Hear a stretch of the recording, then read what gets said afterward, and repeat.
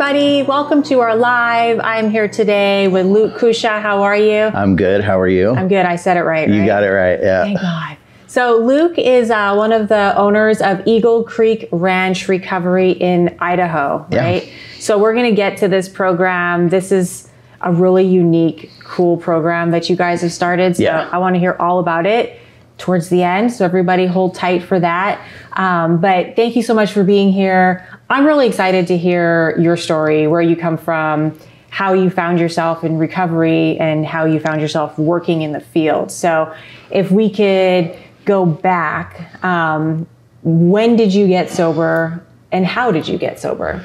So um, I get. I was trying to get sober for a while. Um, I guess. Well, people were trying to get me sober for a Okay. while. We'll just say that. Yeah. Um, so I had my first, um, you know, exposure to like, you know, a life in recovery. Probably when I was like 21. Mm-hmm. Um, my sobriety date's eight, nine, 19.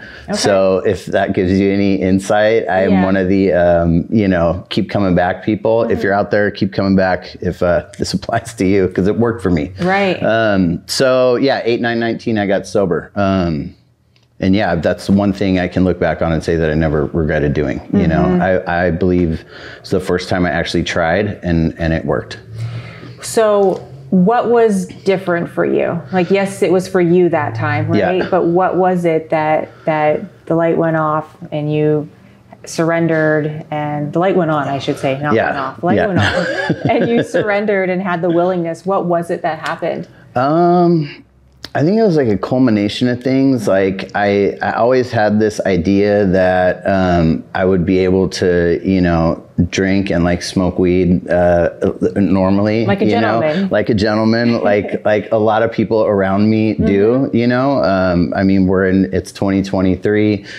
You know, cannabis is pretty much on the same level as you know alcohol at this Yeah. point. Um, and you know, being from Southern California, um, you know, drinking and smoking weed is just kind of like, I mean, it's probably like that everywhere, but I know that California is kind of known for that. So it was just Yeah. always something that we did. Yeah. Um, and uh, obviously, as a as a younger you know kid, you know, pretty early on, like started getting wrapped up into doing some other stuff. Mm-hmm. Um, and then that kind of you know just took me into places that I never thought that I would get to. Yeah. But I always, um, you know, w- weed and, and alcohol never really were a big deal for me. So I always thought if I could just stay off of all this other stuff, Mm-hmm. then I'll just be able to go back to to smoking weed and drinking. And Right, and but it never worked out. Right? no, I did it. I tried it a million times. It didn't yeah work. and story was the same for me and so many people out there and i'm sure so many people that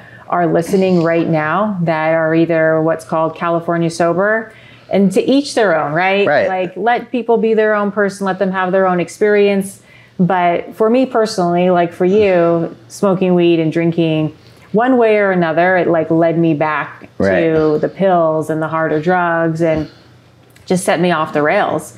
And for me, it was actually the alcohol in the end that really took me down a Yeah. path where I got so sloppy and out of control that I had to get the help. So, Uh, Right. but yeah, you know, it's it's one of those things where I mean, I could go down a rabbit hole, the culture and society of these legal substances now. Right. And so people think, you know, in society, you go out, you have a drink, you go out, you smoke weed, people have anxiety, they feel awkward around people, they're going on a date, you know, you've got all these like dating sites now and all this Yeah. stuff. And people are like, I gotta go have a drink. There was a Yeah. show where they were showing like the data on people on dating sites, and it was like nine times out of 10, they had to have a drink in order to go do that Yeah. right? Yeah. So, you know, there's so many people out there that are in that space right now. For so sure. for you, um, what worked? You know, how were you able to overcome that? And what would be your suggestion to to men out there that feel like that? Like I gotta go drink and I gotta smoke weed to go Right. out and have a good time. I think for me, really, like I, I had to figure out why I felt like I needed to do that, um, you know, and really do some internal processing um, and inventory work on like what was really driving me to do the things that I was doing. Um, and just I can only speak to my own personal experience. Yeah. I was super consumed with what other people were going to think about me, right? For sure. And I would I would start putting thoughts in your mind of what you would be thinking about me without uh, even knowing like what you know. Yeah. I'm a case builder, you know, so I'm I'm already like you know thinking what you may be thinking about me. So when it came down to like smoking weed and having some beers, like you know, I would I would run it into the ground doing other stuff get in a lot of trouble, um, swear everything off forever, you know, and then I'd be like at the lake with my friends and they'd all be having a beer. And it's like, hey, do you want a beer? And I was like, oh, they're gonna think I'm lame if I don't have a beer, or you know, I just want to fit in, or Yeah. you know, I don't want to be the odd man out. So Right. I would always break it down and then end up having a beer. And in my experience, like I would drink the beer and like nothing bad would happen in that second. So I was like, maybe this wasn't as bad as you know I had already thought it to be, right? Mm-hmm. And then I would slowly just start chipping away at that resistance, and then I'd end up right back where I started. And I love you saying that because it's so honest and real, and that's what happens more times than not with people. Right. You know, it's it's that oh, I I can drink socially. Oh, I can just you know the things we tell ourselves. Yeah. The rationalizing and um, oh, I can just do it on the weekend or when I'm with my friends, and and a lot of people don't want to talk about that. You No, know, I mean it's my shame it's my thinking. Yeah. You know, like I, I really had to. I could sum it up really simply. I had to concede like two simple things to myself and believe it at 100%. Number one, if I drink or smoke weed or do anything mind altering, all bets are off from that point. It may take a long time to get me to where I came from. It may happen quickly, but I have lost the power of choice at that moment and I don't know where it's going to take me. Secondly, and I think more importantly and most importantly for me was to realize that with a sober mind, it's trying to tell me, oh, it's going to be different this time. Oh, if you just do it this way, it's going to be fine. Or, oh, this isn't really going to be that bad. Or nobody's going to find out. Or, you know, all the little mm-hmm. things. My, my mind is constantly trying to trick me to get back into that mode. So once I figured those two things out, mm-hmm. then I was really able to go back in and look at like, what is motivating me to do this internally and like a lot of those things i wasn't even really aware of until i really got down and did some work and did some inventories and looked at myself and was like oh wow like you know it was a lot bigger than i thought it was. Yeah. What was the main thing that you realized when you did that deep work? um, number one i was i was super concerned with what other people were thinking about me all the time. And i was always put like i said before i was always putting thoughts into your head on what you might be thinking about me. And i always had this like grandiose idea of you know um, just hanging out and like smoking weed like everybody i just want to be like everybody else mm-hmm. around me right? Yeah. like you know not all my friends are in recovery. And like i mm-hmm. said i come from southern california. I grew Right. up skateboarding and you know going to underground parties and punk rock and all that stuff. So uh-huh. i still know a lot of those people and i would see them doing that with impunity Right, and i'd right. be like you know i didn't want to be different i didn't want to admit that like hey maybe i'm wired a little bit different Mm-hmm. and you know these things don't affect me the same way that they're affecting everybody else For sure. So, how did you have that conversation with people in your life that weren't in recovery? You know, that you were hanging out with and going and doing these things with? Did you have that honest conversation with them about, you know, that you weren't going to drink and smoke weed, or was it necessary, or what was that experience like for you? I don't think I don't think it was really necessary for me to have like at the point where I ended up finally getting sober. Um, with that being said, I focused like 100% on getting sober once I realized that it was it was that or you know death or jail or something. Like I've I had beaten the you know uh, the word no was was beaten out of me. I, when I when I finally came around this time Yeah. okay That was like i'm gonna do whatever i gotta do. So i didn't really like go around um you know places that were maybe gonna be risky for me for a while. Got it. um and then like i guess with social media and stuff now and like people kind of like like keep up with everybody on social media so even if i don't see you like most of my friends probably realize that like you know i had i had gotten sober before i even ran into them again so Right. they're you know the conversation would more come up in a context of somebody else saying like, "Hey, I see that you got sober. I used to party with you. I'm having a problem, you know, drinking or whatever. Yeah. What did you do, right? Right, right, As right. opposed to like, what's wrong with you? Yeah. Which was my greatest fear. I was always thinking people were going to be like, "Dude, what's wrong with you, Yeah. bro?" And Yeah. it wasn't even like that. It was all, you know, it was, all, up in, here. Yeah, it was all in your head. Yeah, I used to think that too. You know, Yeah. I'd be thinking people would be like, "Oh, why can't you just control it?" And yeah, what's wrong with you? Yeah. And come on, just have a few. Like Right. you're so strong in all these other ways. Like what's the matter? You know, the things we tell ourselves, and really, it has nothing to do with any of those things. Yeah. So. Um, you see people in early recovery and they have a hard time with boundaries, figuring out how long to stay away from certain situations, people, relationships. Um, so for you, what did that look like? So did you start going back to those like concerts and hanging out with those people? Or did you just say, nah, I'm not going to do any of this anymore? So um, I didn't go out to like anything really crazy. Probably for the first probably year I was sober. Okay, you guys, let's stop for a second. You guys hear that? a year. And that's so smart. Yeah. That's honestly a year. Okay. now I want to say, like, with that being said, does not mean I did not have fun in my first year of sure. sobriety, right? Yeah, like, I. I, I was conscious of my uh, surroundings, you know, um, but I was having a blast while I was getting sober. But as far as like going out and like, you know, being in a place where you know who knows what's going to go on i mean i volunteer with the consciousness group um, which is a group of sober uh, music lovers and we volunteer at a sober tent at like all these big rave parties nocturnal wonderland edc um, we have a booth at all these places so We need to talk more about that afterwards yeah. once the show ends. So, okay. yeah so i was going out with them which was cool because i went with a sober group of people out to you know i think the first one that i went out to was um i think it was edc Okay. i had to remember but we went i mean there's like 30 That's of us really cool. everybody's in recovery everybody's sober Yeah. um, so it's a good way to like get reacquainted Mm-hmm. with with that kind of thing and and have a, a new experience I love that. And that's so important for people to know is that there's sober fun out there. You know, I, I was terrified. I talked to so many people when they first get sober and they're terrified, like, I'm never gonna have fun anymore. Oh, that's not I don't. I don't know how I'm gonna do this.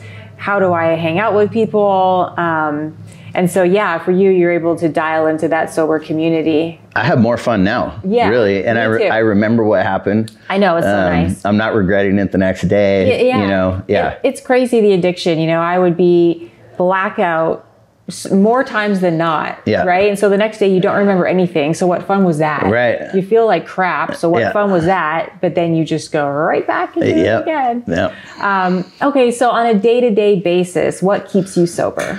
So today, um, you know, and it really like when I first got sober, I was thinking like, oh my gosh, this is it. Life is over. I'm gonna be, you know, it's gonna take so much to do. And like after doing the initial amount of work and like just keeping up with with the stuff that I had learned on a day to day basis, you know, I wake up, I get connected, um, you know, with the universe or the power greater than myself, as you'd say. It kind of set my intention for the day, um, and then I go to work. Um, I usually hit like maybe two or three meetings a week. I work with a couple new guys. Um, I keep in touch with you know uh, other sober people around me, and that's pretty much it. Like like I use the stuff that I learned getting sober to keep me sober, right? Like I try to have integrity, stay honest, um, not be in my you know old ideas or defects of character, and if I am, to be aware of that and to fix it, you know, promptly and immediately. You know, I don't want to create any more,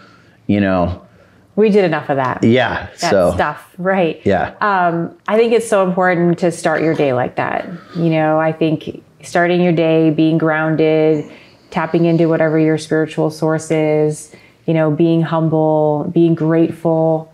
I always say, like, if for me, that if I can stay humble and grateful throughout my day and gratitude, then nothing ever really goes wrong. right. You know, like there's Right. these things that happen because real Yeah. life does happen in sobriety. It's not all rainbows Yeah. and butterflies, Yeah. but if we can stay in that space, you know, of gratitude and uh, and connected with our God, then it's all going to be okay. Oh yeah. Yeah. Yeah. Um, What did you learn about yourself the most through this process? What's the what's the most positive thing that you learned? Like, wow, I didn't realize that I was this or enjoyed this so much.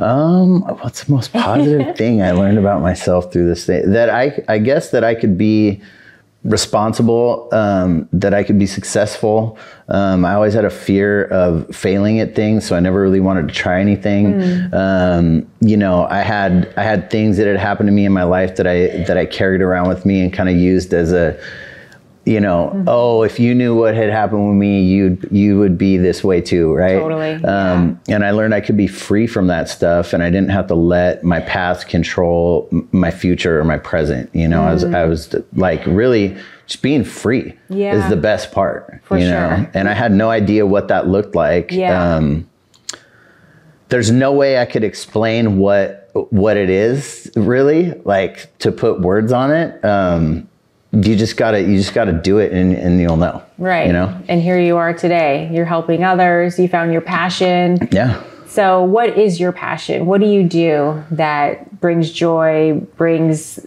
this helpfulness to others this purpose? How did you find it and what is it that you do?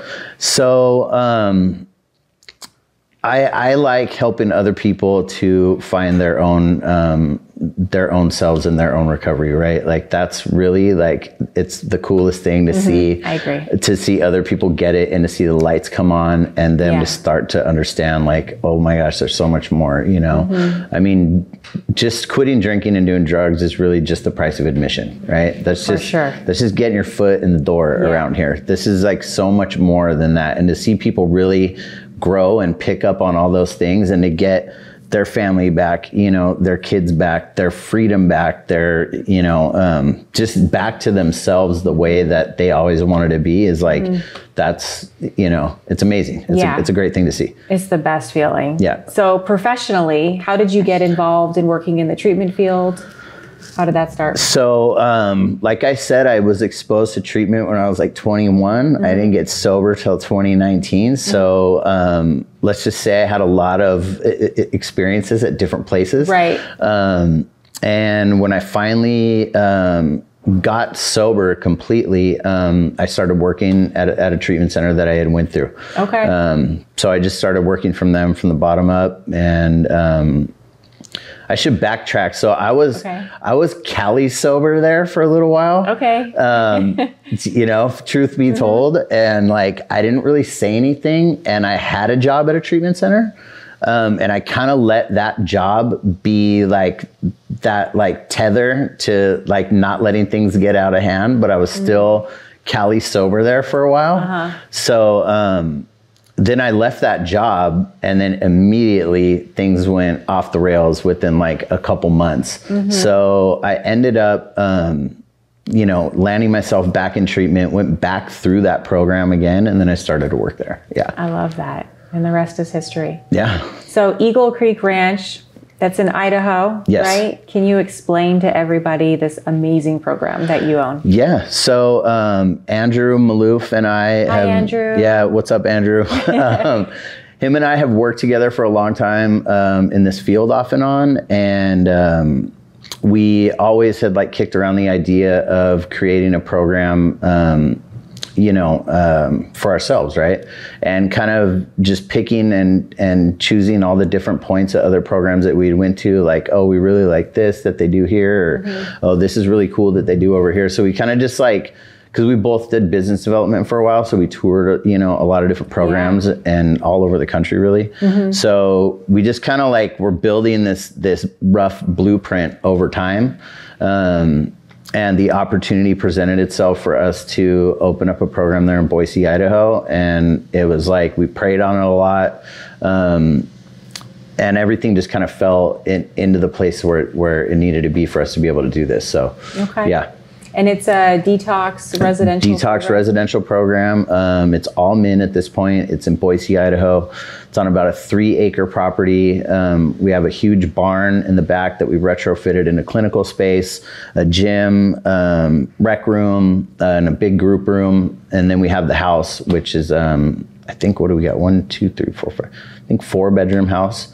Um, It's yeah, beautiful. It's a beautiful guys. property. Yeah, Yeah. I, I want to go out there and just stay there because it Yeah. just it's so beautiful and just the area and just that serene feeling. Oh, yeah. You know, of being able to really unplug Yeah. and go somewhere and get that quality treatment with all the services that you guys offer there. Oh yeah.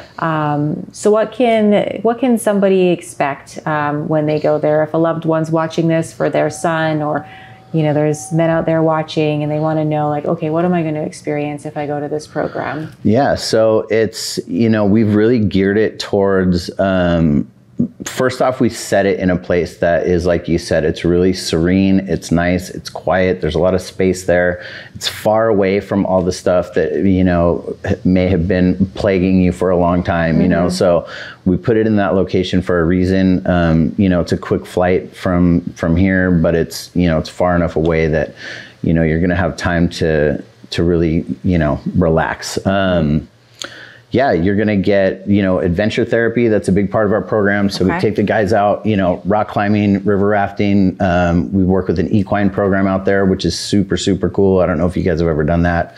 Um, A little bit. yeah, Yeah. it's it's super powerful. Um, yeah. We just took the guys out last week, um, and the the facilitator has um, has some really cool stuff that they do that I've never actually seen done in equine program that was pretty powerful. So we have a lot of different treatment modalities. Um, we have a really good clinical staff, uh, 24 hour nursing, so everybody's you know taken Okay. care of that way. Um, and yeah, it's just a it's you know it's a 30 day detox res program to really get separated from the drugs and alcohol for a while, start to work on the stuff that you need to work on, and hopefully get you prepared to take that next step when you're done with us. Perfect. And so people that are watching that want more information, um, what's the website? So EagleCreekRanchRecovery.com is the website. Um, our direct line is 208 369 7383. All right, perfect. Yeah. Okay. Um, what would you say to somebody out there struggling right now that hasn't been able to come forward yet, doesn't really know where to start, doesn't know who to call? Um, what would be your suggestion? There's no shame in it you know? Talk to somebody. Um, even you know you can call like the number that i just gave you. I'm sure your contact information is on there. Um, pick up the phone. Even call like alcoholics anonymous central office or something. Just get yourself in touch with somebody. Tell them what's going on. And i think f- admitting that you don't know is is fine. You know i think the first phone call can just be hey I can't stop drinking or I can't stop getting loaded. I don't know what to do. Can somebody help me? You know what I mean? Right. Don't need to figure it all out. No, You that's know, just have that Yeah. willingness to just say, I don't know. totally. you know Yeah. and know that you're not alone i mean No. for me that was one of the hardest things for so long is that i did not know how to ask for help Right. you know and especially if you're not hanging out with a bunch of people that are drug addicts or whatever and you're just going like i don't know what to do who do i talk to maybe it's at work who do i get in touch with so they can call you Yeah, absolutely. I mean, after you know what's gone on for the past couple years, people being locked down, people are at home. The, you know, they're isolated. Um, people, you know, they're depressed. I mean, the levels of these things are it showing up. You know, the numbers are just growing since since the lockdown. So it's been really sad and it, and if you got your if you caught yourself like out of control without really realizing it, you know, um, it's perfectly fine to ask for help. There, you know, yeah if you got this much willingness, we'll take you the rest of the way. for sure Yeah. okay last question Sure. If you had to sum up what recovery means to you to someone that has no idea and you had to explain it to them the best you could, what would you say it is for you? It's being free. It's literally being free. Like I, you know, I heard it, I heard it explained one way that I thought was kind of cool. Um, it's be like trying to explain to somebody what it feels like, like the first time that you got high. Like you can't really explain what that is mm-hmm. until somebody did it. Getting sober is a hundred times better than that. I couldn't even describe to you how good it is. You just got to try it and you just got to do it. Right. You know, I would say give yourself give yourself like six months of time and just mm-hmm. just get engaged, get involved, and just say okay and do the things that are suggested of you, and you'll start to see things change. the magic. Yeah. the promises they do come true, you guys. And uh, it, it's beyond your wildest dreams. You know, it gives me goosebumps with with just talking to you about it and the freedom that comes in that. You know, it's when you're controlled by substances in every way, shape, and form, mind, body, spirit, and then you're released from that. It's like I always say, it's like we have the superpower now. For sure. Like we literally can do anything we want because we've been given a second chance at life. And why not us? Yeah. You know, instead of being the victim and being that, you know, we have these stories and it's so tragic and it is you guys, but why not overcome that and be like the best version of yourself and Yeah. help other people along the way. Yeah. So, thank you so much for being Thanks, here. Thanks, Jenny, for having me. I appreciate it. Thank you. Thanks you guys. We'll see you next time. Bye.